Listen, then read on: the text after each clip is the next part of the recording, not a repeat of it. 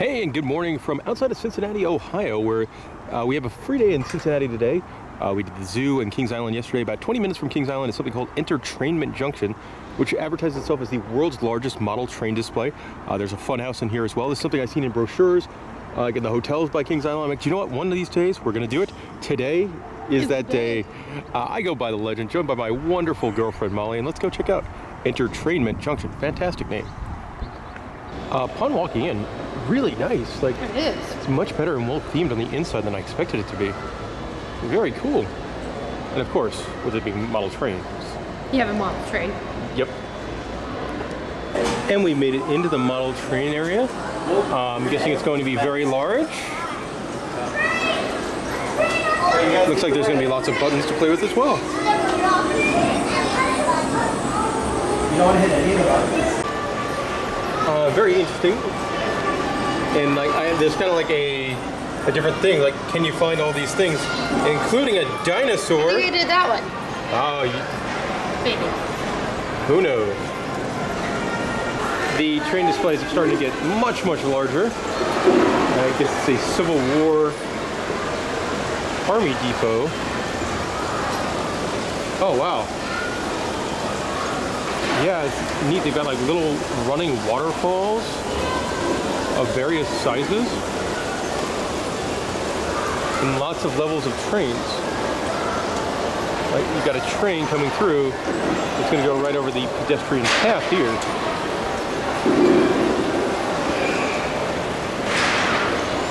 Really cool. That is neat. I found a duck. I love how it goes like in and out of the mountain.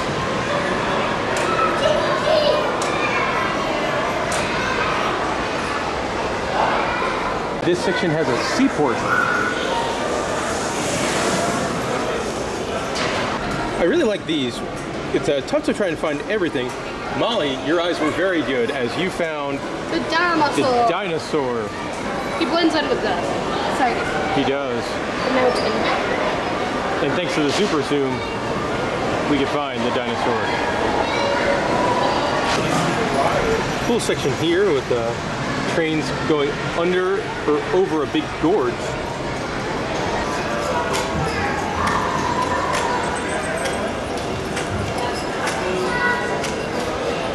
I think we'll probably pass on the Children's Imagination Junction.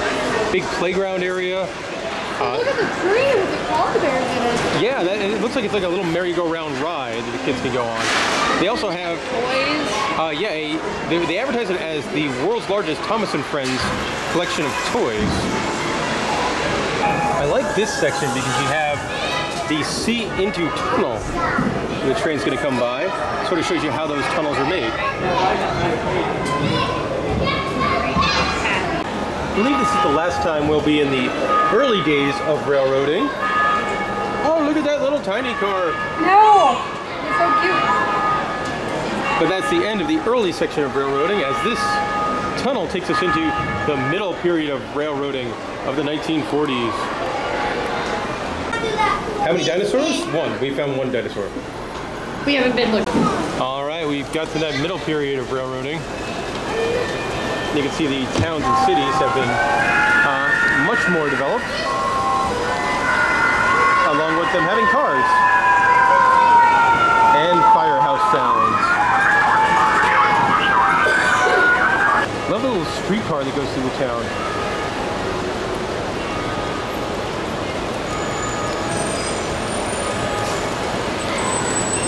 This area is done up as a big coal mine. You can see the coal cars coming through up there.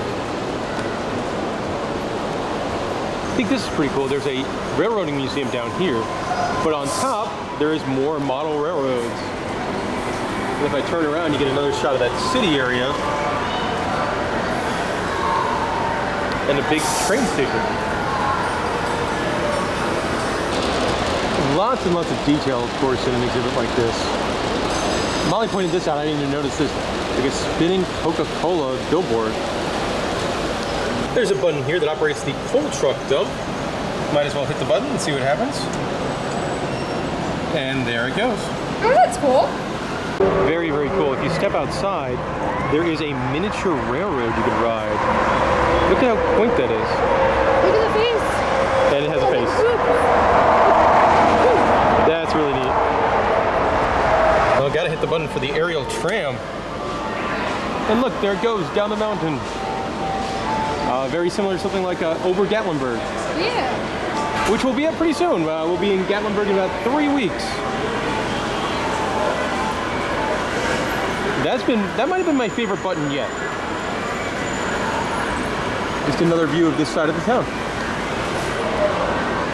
Oh, that's fantastic. It's even got its own drive-in movie theater. Yep, and looks like it's starting the show. We got a bench right out of a train station. But we're gonna head upstairs to the overlook and the old Coney display. Press button to operate rides. I think I will. When you come upstairs, you get a big overview of what is labeled as the world's largest model train exhibit. The upper level is also a model of Coney Island, uh, the classic Cincinnati amusement park. And the roller coaster actually works. Goes really slow on the big curve.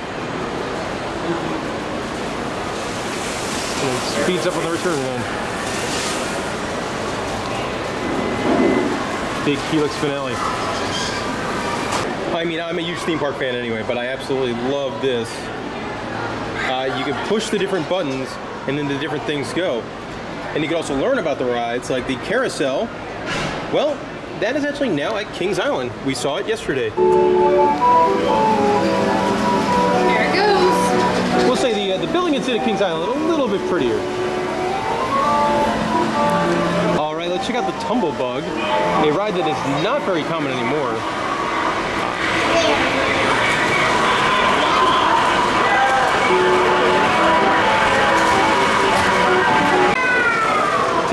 Turnpike cars.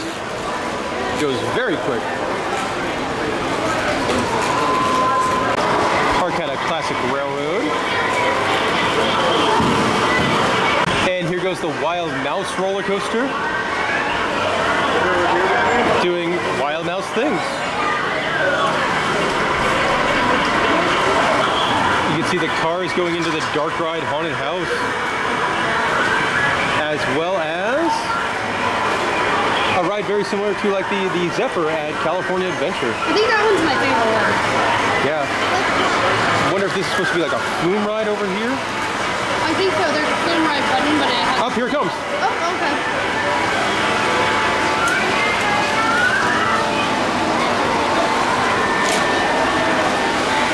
That's really neat about the display is every, I don't know, five or 10 minutes, the lighting will change from daytime to nighttime and then back to daytime.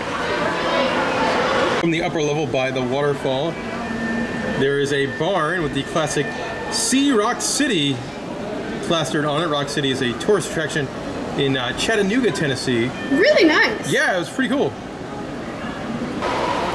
Pretty cool. You've got a functioning turntable. That train just came on the turntable and now it's spinning. I'm guessing it's going to go into slot number three here. All right, it has stopped and there it goes. Uh, there's also a funicular over there. And it just became daytime again. It is now time to move into the modern period of railroading, the 1970s to the present. Pretty neat, there's kind of like a green screen souvenir thing where you can stand over there and get your picture taken. And we made it to modern times. Obviously lots of tall buildings and more modern cars. Molly, a wonderful detail you just noticed. Their billboard is for them. It's about birthday parties. Or corporate function.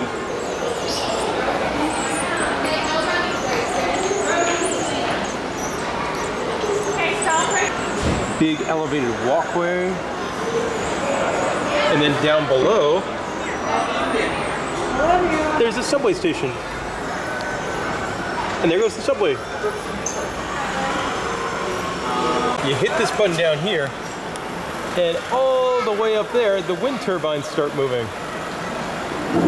We're visiting in October, and it's interesting because different parts of the cities are indeed decorated for Halloween. This tree reminds me of the tree on the Disney Cruise Lines for Halloween. Yes, In the or lobby? I would say the old tree that used to be at Adventureland on Long Island. There you go. There, that too. Some more fun stuff in the city area. Uh, big building for MSC. We'll be on a MSC cruise ship in about two weeks, Yeah. three weeks, something like that. Two weeks. Two, two, Gatlinburg. Uh, this is awesome. They even have a little small replica of the Dent Schoolhouse, which is a, a famous haunted house here in the Cincinnati area.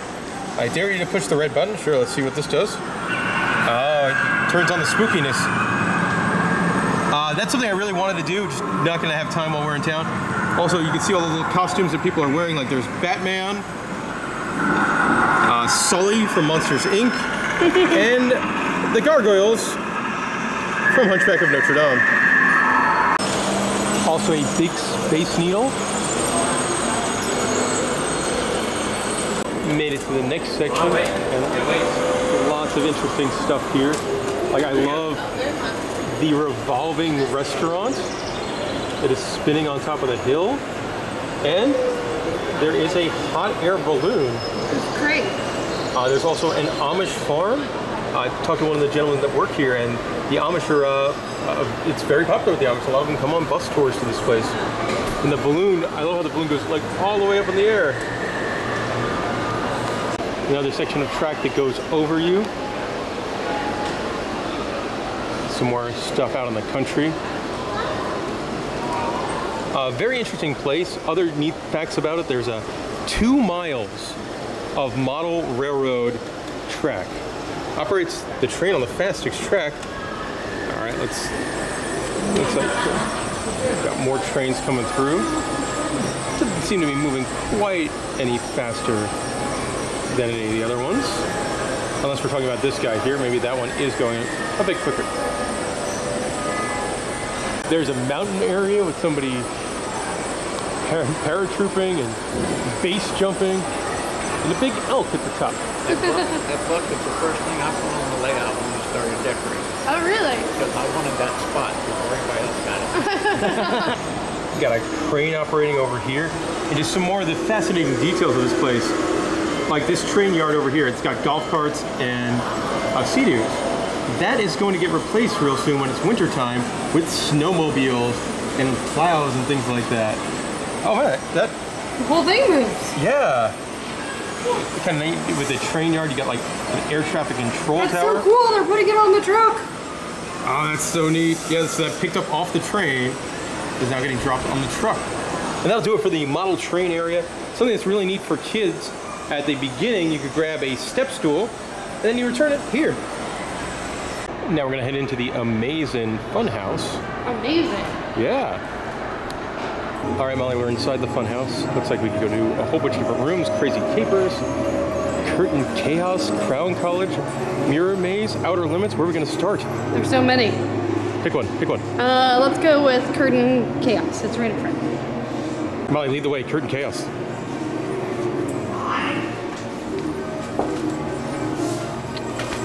You know, I feel like curtain chaos is just walking through curtains. A lot of curtains. Not sure how heavy it is on the chaos. Uh, the curtain chaos is definitely kind of interesting. I like this. Open up this one. Hey, are you lost? And it's just a wall. more curtains, more chaos. Lots of curtains. They're heavy. Up, now you're in a room full of punching bags. Kind of fun, you don't know what's going to be around the doors. Room of various funhouse mirrors. I expected curtain chaos to be like the size of a closet. It is really long.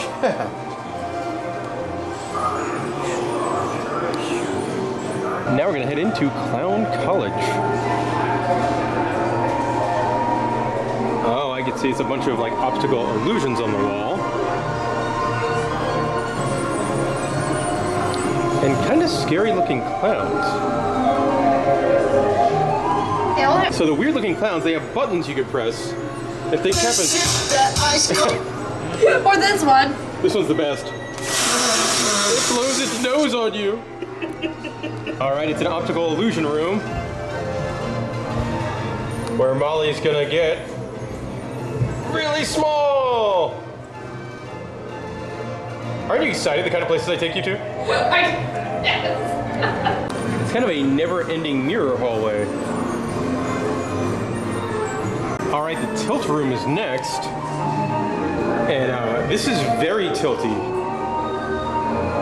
I like, for some reason, the umbrella spinning around on the ceiling.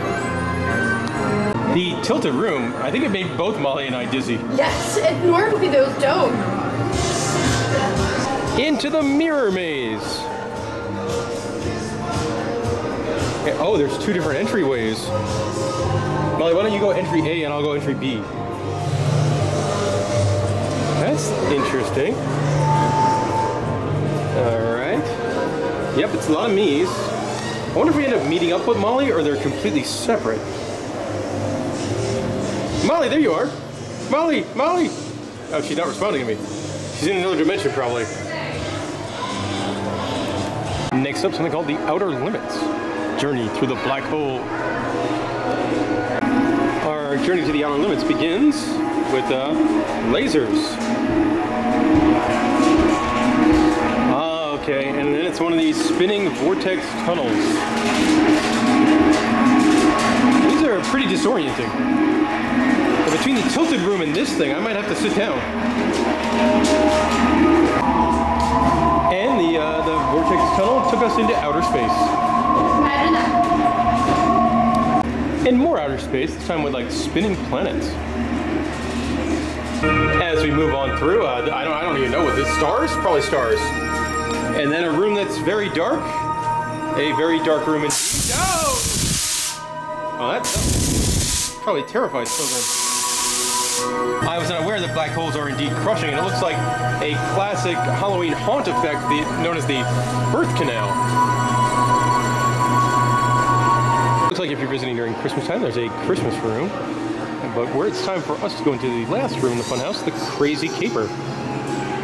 Looks like the theme of this one, we gotta try and find the Ringmaster's keys, but not set off the alarms. Heading on in and it's it's a hallway of farts. Can you grab the key? I see if you can grab the key. Nope, I cannot. Looks like there's a projection game. We have to try and step on gifts. Like that one was a Barbie. Another Barbie. Let's see, a lot of Barbies. A lot of trucks. There's a transformer, Got a truck. and I think the idea is like one person is one person is green, one person is red. Up there's Santa. Oh, that's pretty fun. I was doing. Update, it switches between different games. I think with this one, you have to try to step on these dragon guys to defend the castle. Oh, do we find the key? Oh. It's uh, going all footsie wootsy on my feet. Ah, there's the key. We got it. We've gotten the key. Also in the funhouse area, there's a miniature circus. Very much reminds me of, I think it's the Museum of Science and Industry in Chicago that has a, a miniature circus display. The next section of the attraction is the Great Train Expo. Interesting stuff, like there's a giant collection of marbles. Fun interactive here where you kind of fling the marble up and it's gonna drop down and you're gonna score some points. See how Molly's gonna do?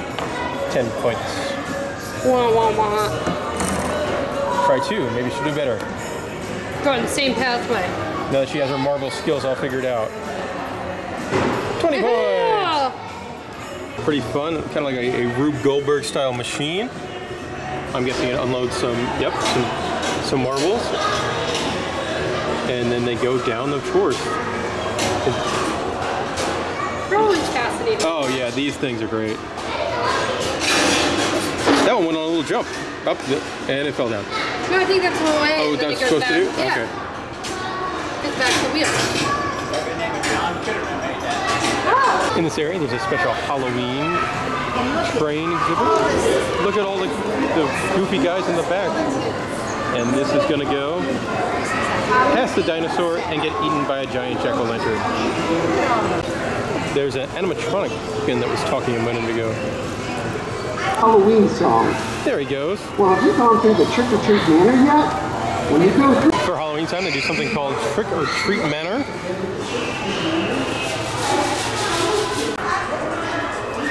It very much feels like a, uh, a haunted house, but with no no scare actors in it. No, but they kids can get candy.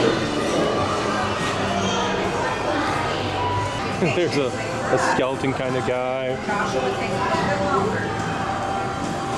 We've made it to a cemetery. We found the best candy. We found the best candy.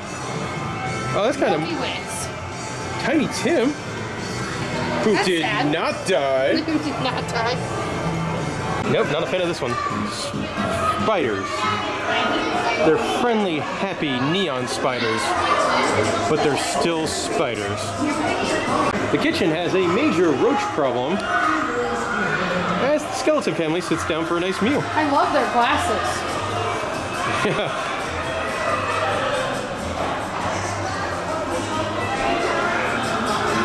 Then it looks like it finishes with a little Halloween village kind of area.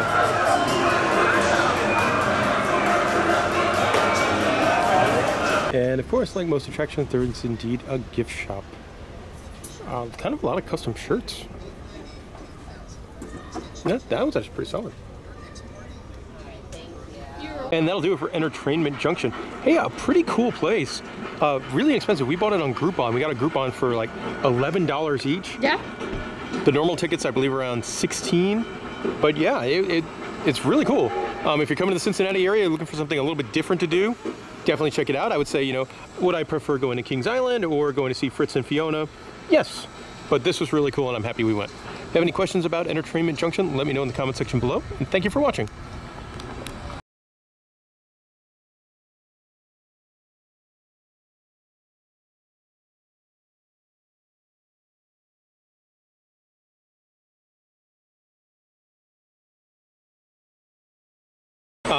Flight just got delayed two hours, so we might have time to go to the spooky haunted house. Can we go to the spooky haunted house? I guess. It's only in an abandoned, creepy school. Look at the, the face of enjoyment. Do they have uh, Mike and Sully outside? I'll go. Probably not. and a quick update, we did end up going when our flight was delayed, and I really enjoyed it. That was an awesome haunted house.